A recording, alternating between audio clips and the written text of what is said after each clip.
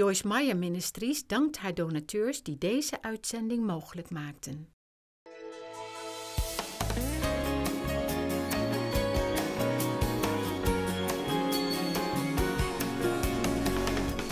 Where are you on the list of people that you take care of? Are you all the way at the bottom of your list? And if the truth be told, there's so many people to take care of that by the time you get finished taking care of all of them, you don't ever really get around to yourself. Do you find yourself saying things like, when is somebody going to do something for me? are things like, I do all the work around here, and nobody appreciates me. I'm getting a lot of head shaking out there. How many people do you take care of? I, take, I have to take care of a lot of people. I have a husband, four children that are grown, but let me tell you something, when your kids get grown, they don't stop being needy. They just are needy on another level. Amen? We have 10 grandchildren, and we're very involved with all of our children. I hear from almost all of them every day. Our one son travels a lot of the country, so I don't hear from him every single day, but my grandkids are in and out. They need this, they need that.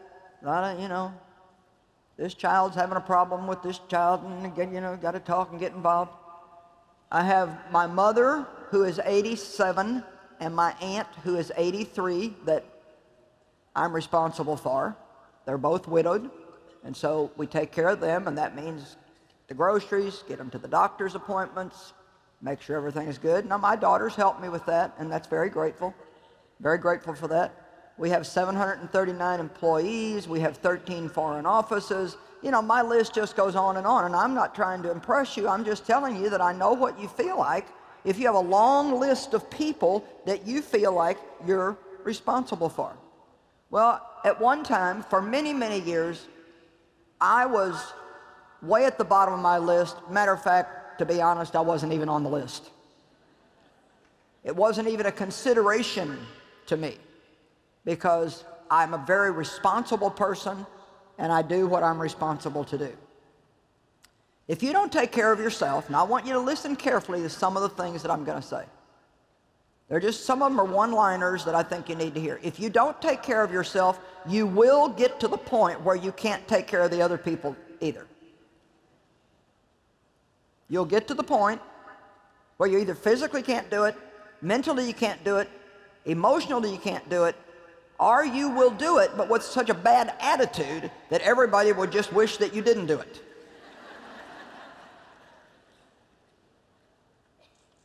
It's not selfish to take care of yourself. It's wisdom.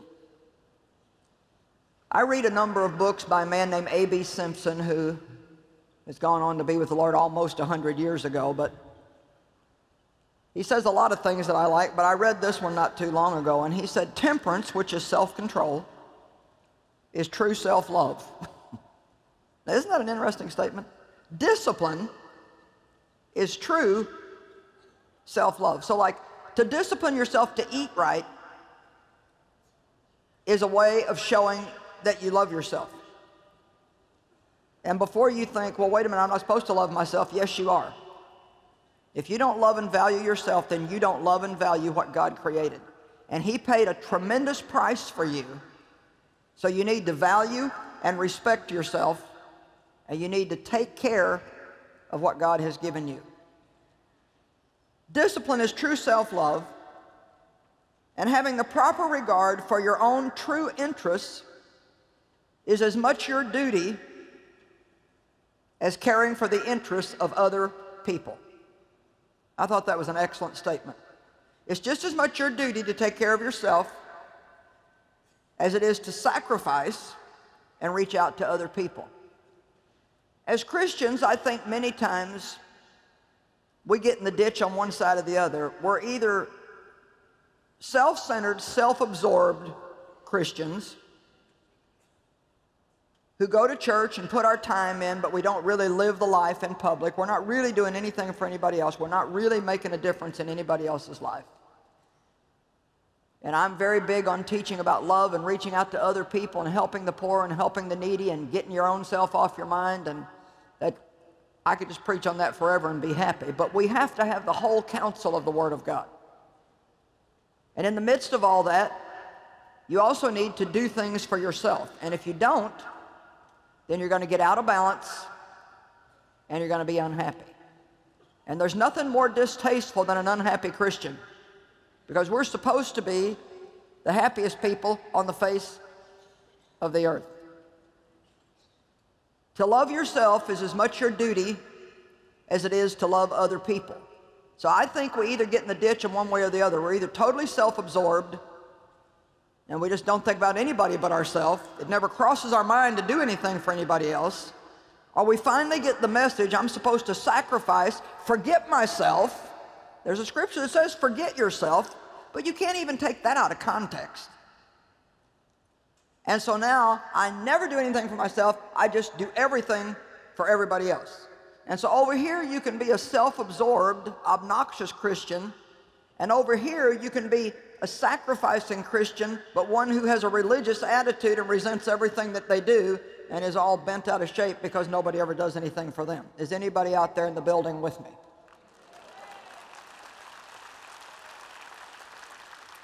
You begin to do some things at your church, and pretty soon they find out that you'll do some things, and so then all of a sudden it seems like every time there's something to be done, you're the one that they call and you're not very good at saying no, and after three or four years, you get bitter and resentful, and when you get bitter and resentful, then you start finding something wrong with everybody. Now the preacher's got a problem, the choir director's got a problem, you don't like the color of the church door, you don't like the people, you don't like anything anymore, and it's your fault because you had to keep balance in your life and say, you know what, I can do this, but I can't do this. Somewhere in your life, you've got to be in it. Somewhere in your life, You've got to be in it. Amen? Matthew 22, 37 through 39. People were asking Jesus, what is the most important commandment? He said, the most important commandment is you shall love the Lord your God with all your mind, with all your heart, with all your strength, with all your soul. This is the first and the most important commandment. And then he said, There is a second like unto it. You shall love your neighbor. Now watch, because I think we missed this part, as you love yourself. I never heard anybody share this scripture in the way that I'm sharing it today. I mean, I do now, but many years ago, as long as I'd been in church, I always heard the part about loving God and loving your neighbor, but the as you love yourself was kind of given a different context. It's like, okay, you're in love with yourself, so you need to at least love everybody else as much as you love yourself. But I don't really think that's what it means. I believe that God has given us responsibility in three relationships. And the Bible is about relationships. It's about our relationship with God, our relationship with people, and very importantly, it's also about our relationship with ourselves.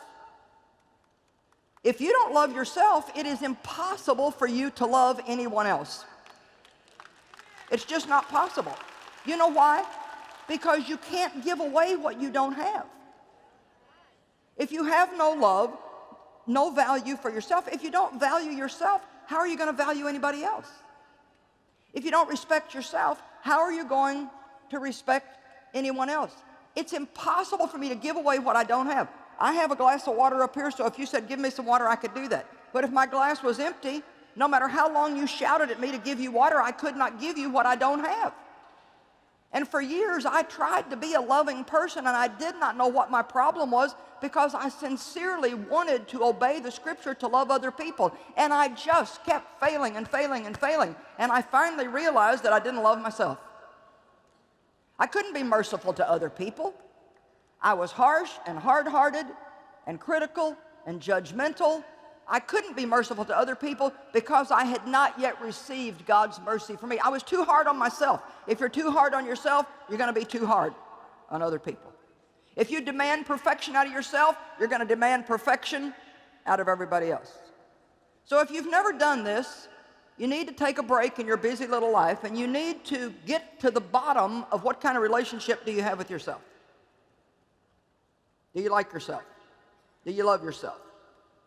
Do you value yourself? Do you respect yourself? Do you do things for yourself? Do you meet your valid needs without feeling guilty about it? Sometimes, even if we do something for ourselves, there's this little demon hanging around in our space making us feel guilty that we did it. Well, you could have given that money away. You didn't need another pair of earrings. You could have done this. You didn't need to do that. You could have done this. Well, why are you laying on that couch watching that movie? There's still work to be done. Come on, am I telling the truth or not?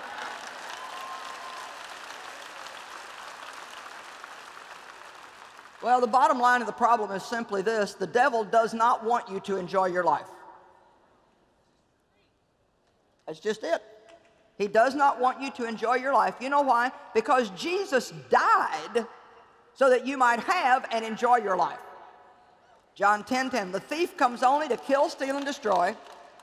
But Jesus said, I came that you might have and enjoy your life, have and enjoy your life, have and enjoy your life, have and enjoy your life, have and enjoy your life.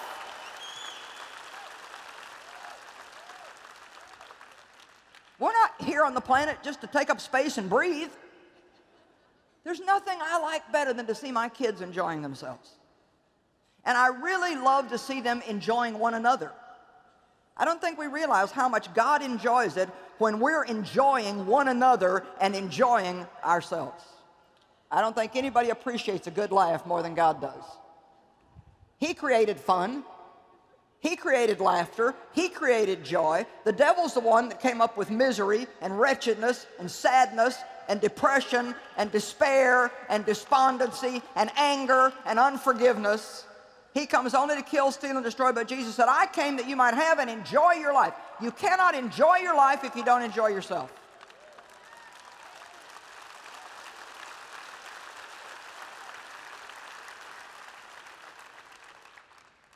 How many of you think you don't value yourself as much as you should?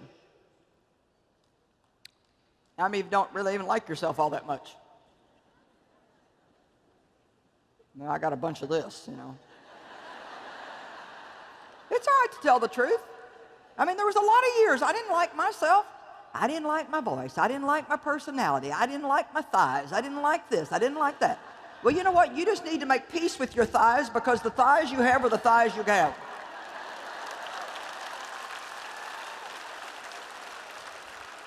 I mean, you got to learn how to take what you got and do the best you can with it. If you can improve it, improve it. But if you're stuck with it, learn to love it. Amen?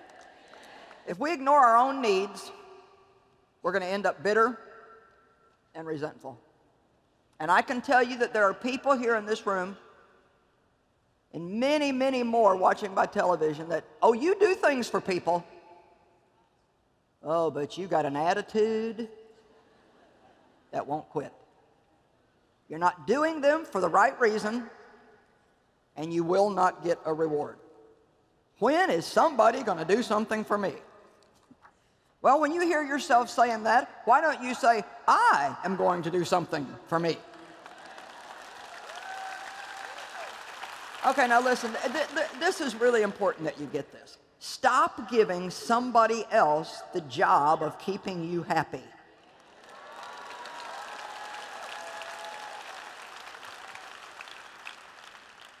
Now, if you didn't come for anything else except to hear me say that today, it would be worth your trip. Matter of fact, that would make a good Facebook post, wouldn't it?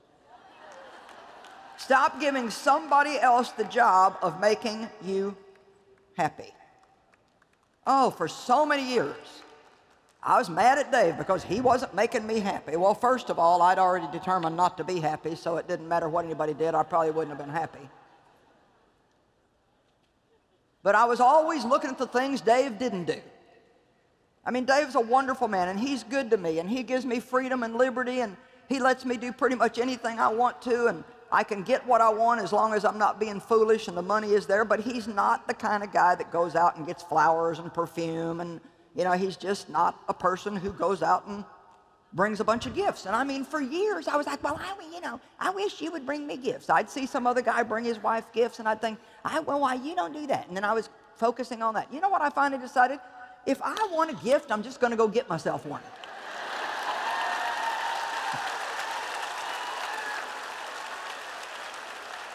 Come on, it's time to grow up and stop giving everybody else the responsibility of making us happy.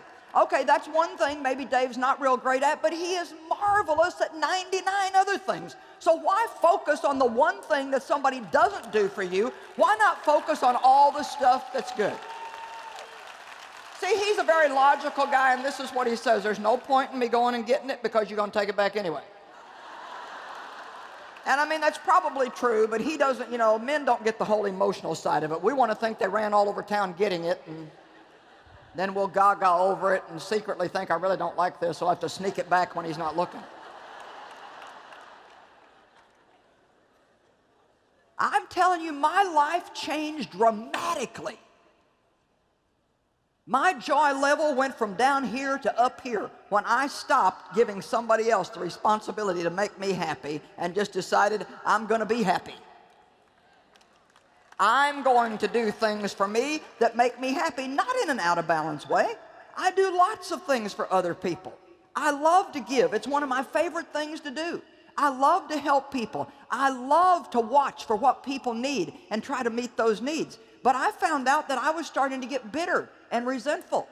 It was like, well, what about me? What about me? What about me? What about me? What about me? I'll just go ahead and do it before you make me. I mean, I sang that same old sad song so long, I bet God was not again. Please, I don't want to hear it. What about me? What about me? Nobody's going to do anything for me. Well, I work hard all weekend, and that's fine. We go home, and, you know, Dave goes out and plays golf, and I'm just left home by myself with nothing to do. Well, what about me? Nobody cares about me. Me, me, me, me, me, me, me.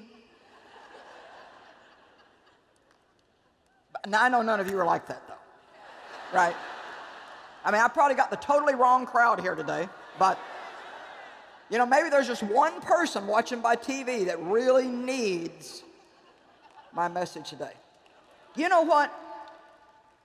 I think that sometimes we know that we could go do something for ourselves but we actually have gotten so addicted to the murmuring, the grumbling, the complaining, the chip on our shoulder, the martyr attitude, and the poor me attitude that we really don't even want to make ourselves any better. So we sit around and say, Well, you don't do this for me, and you don't do that for me, and you don't do this for me. Well, today we're wiping out all excuses. If something needs to be done for you and nobody else is doing it, then do it yourself.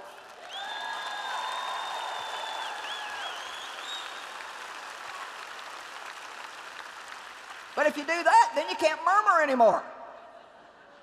You know, Dave never gives me the job of making him happy. He's just like, gonna go play golf. Going to the ball game. Gonna go out watch a football game. I mean, whatever he likes to do, he does. Well, I had lived su such a self sacrificing, spiritual. I mean, come on, I could have put the Pharisees to shame. And some of you could have been right on my team. We could have had a big group. I mean, I had been so self sacrificing and so spiritual for so long, helping the whole world while nobody did anything for me. That by the time God got this across to me, and I started thinking, okay, that's it. I'm going to start doing things I enjoy. Now, this is sad, but I'm telling you the absolute truth. There was nothing I enjoyed.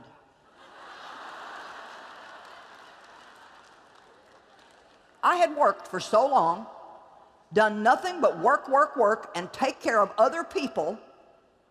When I started saying, okay, now today I'm going to do something I want to do, I didn't know what to do. I mean, Dave would verify this. I mean, I had a hard time with this for a long time. It was like, I don't like anything. Because I had not done anything, I had not developed any interest outside of my work, I was so focused and so committed on what God had called me to do that I just didn't have any life outside of this. And it took me a while to learn how to like things. Now, here's something else I want to say that I think is important. Here's another mistake I think we make. I think we try to entertain ourselves. And God is not really calling us to entertain ourselves. He wants us to learn how to enjoy things. So I started out with the entertainment. I was going to try to entertain myself. So I went to this and I went to that and I took vacations and I did this and it was all just like, you know how it is. You go on a vacation, you come back and you're None of it worked out the way you thought it would. You didn't have a great time anyway. You're tireder than you were when you went. Some people even go in debt to go do it, and now you got to pay it off for a year, and you're like, Ugh. You know what I've discovered after a long, long, long journey that I don't have time to tell you all about? It's not so much about entertainment, it's about finding the simple things in life that you really enjoy.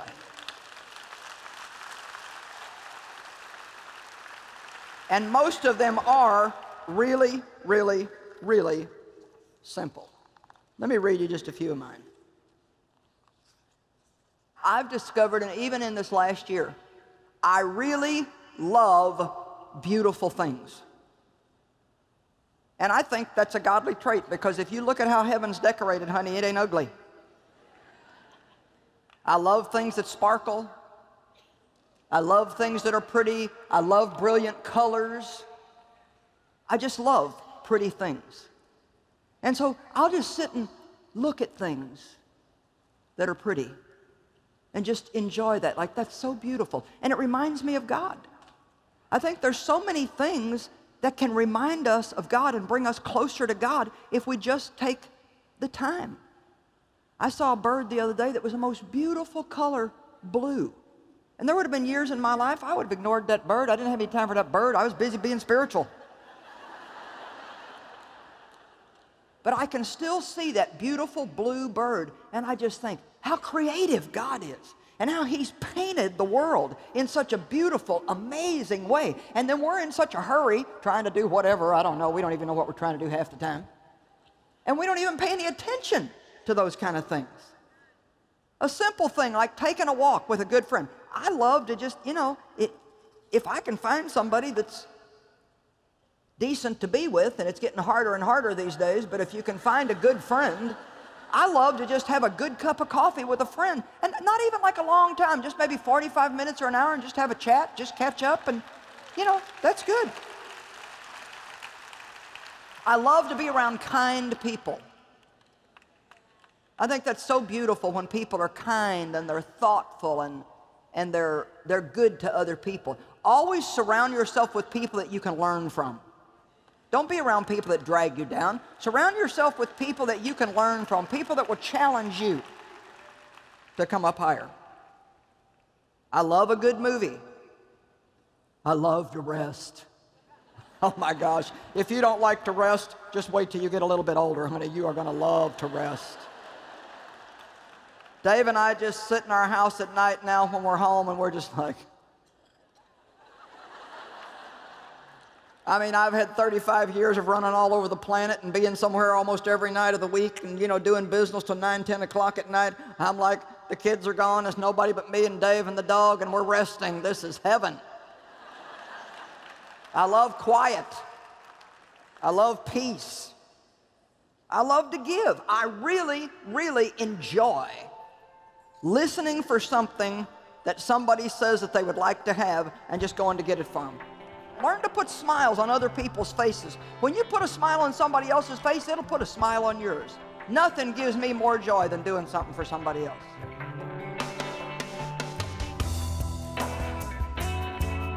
So don't forget, you're going to do a better job at caring for others if you also keep yourself strong and healthy and take care of yourself.